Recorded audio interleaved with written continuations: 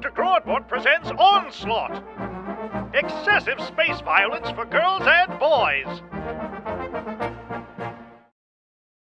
Lord Cockswain in The Psychiatrist. I remember the first time that I felt an emotion. Yes, I was six years old, and I was chasing bees in the garden, squashing them. I looked down at one of the little tykes, half alive, his big eyes looking up pleadingly, guts spread in front of him like a bean breakfast. And I thought to myself, Bloody hell! My foot hurts! Um, that's not an emotion, my lord. That's called pain. Oh, yes? Well, I don't like that one much. What about pride? Do you ever feel a sense of satisfaction in your work?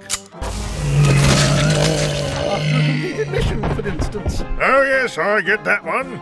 After I blow up a Venusian village and watch the fireball rising, full of little flailing bodies. I get that one. That's an emotion, is it? Ah, uh, yes, sort of. How about affection? Affection? Oh, yes, I love to affect things. No, not quite.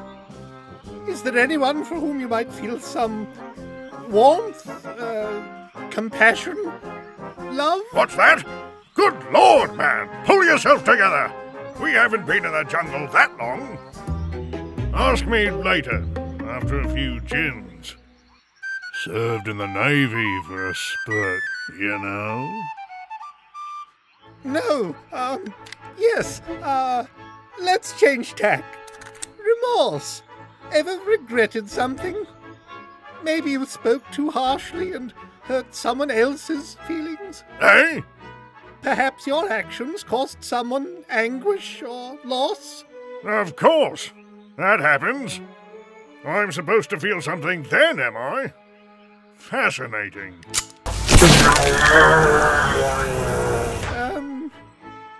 Reverence. How about that? All for the majesty of being? A feeling of insignificance before the face of the universe? I'm quite tall, you know.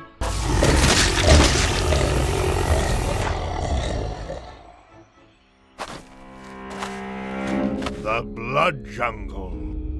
Put a stopper on it for now, old boy.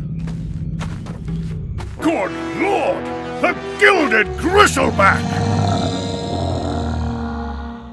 I thought I'd finished off the last of the Blighters a decade ago. The last one. Its existence, a shadowy rumor. Frankly, I didn't believe it. And I get to bag it. Its head on my wall at long, long last. It's a beauty, but surely you. Quiet, man! A more dangerous beast you're unlikely to encounter. And very sharp senses. Fantastic hearing.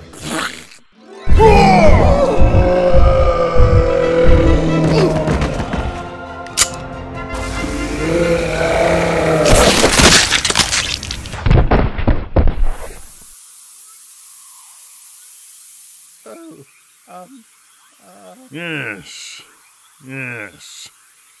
I think I'm starting to feel one of those emotions you've been going on about, Dr. Peeves.